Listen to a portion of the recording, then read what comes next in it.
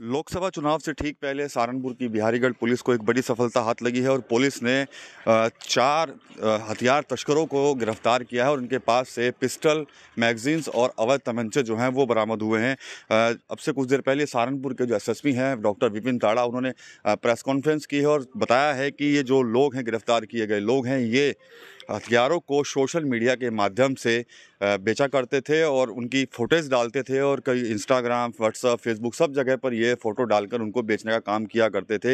इनके पास से भारी संख्या में हथियार बरामद हुए हैं। दरअसल चुनाव को लेकर पुलिस पूरी तरह से चौकन्नी है और उसी के चलते ये कामयाबी पुलिस को मिली है। कुछ सोशल मीडिया पर ही इनपुट्स मिले थे जिसमें बताया जा रहा था कि कुछ लोग हैं जो हथियारों की तस्करी लगातार कर रहे हैं। सोशल मीडिया पर उसकी फ़ोटो डालते हैं और उनको चालीस हज़ार से लेकर कई काफ़ी हज़ारों की संख्या में उनको बेचा करते हैं। फ़िलहाल देखा जाए तो एक बड़ी उपलब्धि है चुनाव से ठीक पहले सहारनपुर में इस तरह के जो सोशल मीडिया पर हथियारों की जो सप्लाई कर रहे थे, उनको बेच रहे थे, उनको पुलिस ने धर लिया है और उनके पास से बरामद भी जो है वो यहाँ पर इनके द्वारा, पुलिस के द्वारा की गई है। डॉक्टर विपिन ताड़ा जी इस वक्त हमारे साथ हैं, सहारनपुर के एस हैं। सर इलेक्शन से पहले एक बड़ा तो क्या बोलते हैं, गिरोह पकड़ा है आप लोगों ने, इनके पास से भारी मात्रा में हथियार मिले हैं।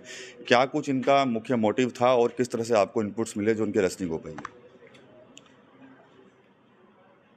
आगामी चुनाव को देखते हुए पुलिस द्वारा सोशल मीडिया सेल पर निरंतर निगाह रखी जा रही थी और इसी क्रम में कई ऐसे लोग जो अवांछनीय और आपराधिक गतिविधियों में लिप्त हैं, जिनके बारे में पुलिस को सूचना प्राप्त होती रहती है। पूर्व में भी कार्रवाइयाँ ऐसे लोगों के खिलाफ की गई हैं। इसी क्रम में पुलिस को ये सूचना सोशल मीडिया सेल के ज़रिए प्राप्त हुई कि ऐसे कुछ युवक हैं जो कि सोशल मीडिया का प्रयोग करके शस्त्रों की खरीद फरोख्त का काम करते हैं और इन पर पुलिस ने अपना जाल बिछाया और इनको गिरफ़्तार किया है। गिरफ्तारी में चार युवक गिरफ़्तार हुए हैं। ये चारों बदमाशों से हमको दो पिस्टल और चार तमंचे और भारी मात्रा में कारतूस बरामद हुए हैं। ये चारों जो हैं, इनमें से एक हरिद्वार का रहने वाला है जो कि वहाँ से असला लाता था। और यहाँ पर सहारनपुर में अपने इन तीन लोगों के ज़रिए सोशल मीडिया में घुसपैठ करके बेचा करता था। इसके लिए इन्होंने कई ऐसे व्हाट्सएप ग्रुप्स बना रखे थे, जिनमें कि पूर्व में अपराधी जो जेल गए हैं और साथ ही ऐसे युवक जो कि शस्त्र खरीदने में रुचि रखते हैं, अवैध शस्त्र खरीदने में, उनको जोड़ा गया था और वहाँ पर ये फ़ोटो पोस्ट करते थे, जिसमें कि पिस्टल ये चालीस से पचास हज़ार रुपये में और जो तमंचा है वो आठ से दस हज़ार रुपये में बेचा करते थे। पुलिस ने इनको गिरफ़्तार किया है और इन पर मुकदमा दर्ज कर इन्हें जेल भेजा जा रहा है। पूर्व में भी इनके कई अपराधियों के साथ संपर्क रहे हैं, उन पर भी पुलिस जाँच कर रही है और जिन लोगों के साथ या अन्य लोगों के साथ संपर्क में आए हैं, वो सभी विवेचना में शामिल किए गए हैं और इसमें आगे कार्रवाई की जाएगी। शुभम का भी कुछ निकल कर सामने आ रहा हो, पहले भी एक नेशनल लीडर के ऊपर हमले के आरोपी रहे हैं।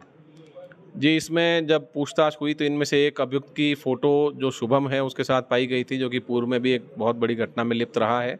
उसमें भी पुलिस ने पूछताछ की, ये फ़ोटो हालाँकि 2022 से बताई गई है और इसमें इससे और पूछताछ की गई थी।